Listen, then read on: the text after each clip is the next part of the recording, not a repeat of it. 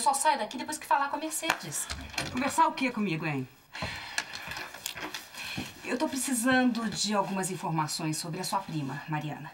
Não sei onde tá, nunca mais vi, nem quero ver. Ela se enrolou com a polícia, é? Não, nada disso. Ela tá disputando a guarda do filho na justiça. O filho que ela teve com o Eduardo Feitosa. O Edu, eu conheci ele. Tão certinho. Nunca entendi como é que ele foi namorar aquela doida da Mariana. É. Eu sou advogada do Edu. Eu tô precisando de algumas informações sobre a Mariana. É pelo bem do filho deles. Moça, eu não devo nada pra ninguém. Eu sou uma mulher casada, eu trabalho, tenho filho pra criar. Eu arranjei uma vida nova pra mim, uma vida limpa. Pra senhora pode até parecer pouco, mas é tudo que eu tenho. Mercedes, a gente entende direitinho como é que você se sente. Pode ter certeza disso. É verdade, Mercedes. Eu mesmo também já fui viciado em sexo. E não me curei até hoje. Ninguém tá querendo perturbar a sua vida, não, Nessa. Me deixa em paz, caramba. Olha aqui, nós estamos falando sobre um processo judicial. E eu posso obrigar você a depor. Olha só, nós estamos hospedados nesse hotel aqui. Se mudar de ideia... Hum?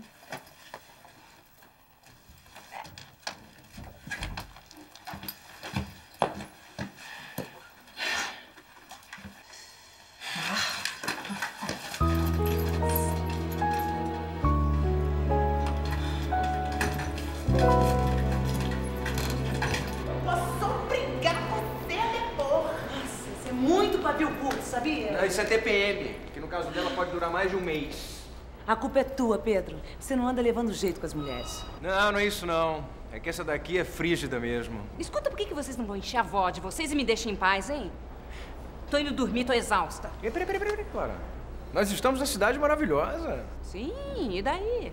Solteiros no Rio de Janeiro. Não podemos perder a oportunidade de dar um passeiozinho logo após o expediente, é ou não é? É, você sabe o Cristo Redentor? Aquele que fica de braços abertos no alto do Corcovado? Pois bem, o dia que ele coçar o nariz, eu te prometo, eu dou uma voltinha com você, ok? Ela tem medo de encontrar um travesti na praia de Copacabana. É, é verdade que ela é virgem mesmo? Não, eu não sou virgem, não. Com licença. Oi? Eu sou o marido da Mercedes. E eu tenho umas coisas pra contar pra vocês.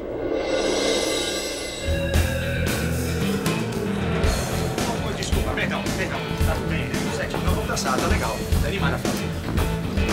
Oi, meu Deus. Ô, oh, machucou aí você não. Tudo certo, toca aqui.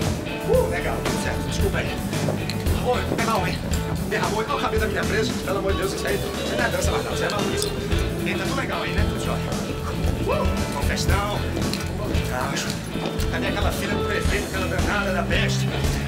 Olha ela ali. Ô, safada, agora você não me escapa não, cabritinho.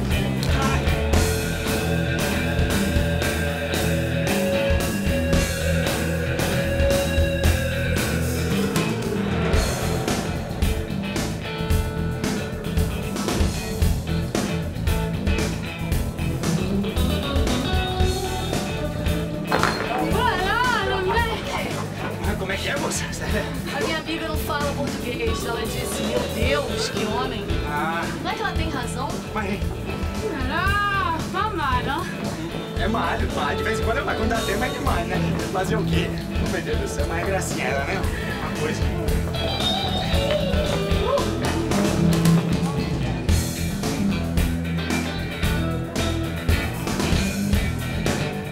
Você conhece Mariana Mendes? Ela é prima da minha mulher.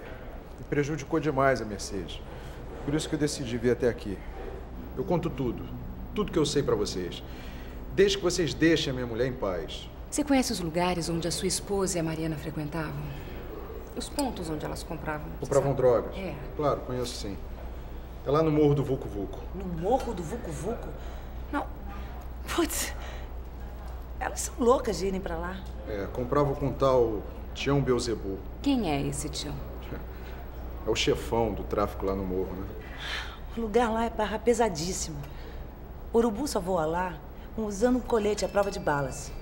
Bom, fazer o quê? É a pista que a gente tem, não é? Vamos ter que ir até lá conferir.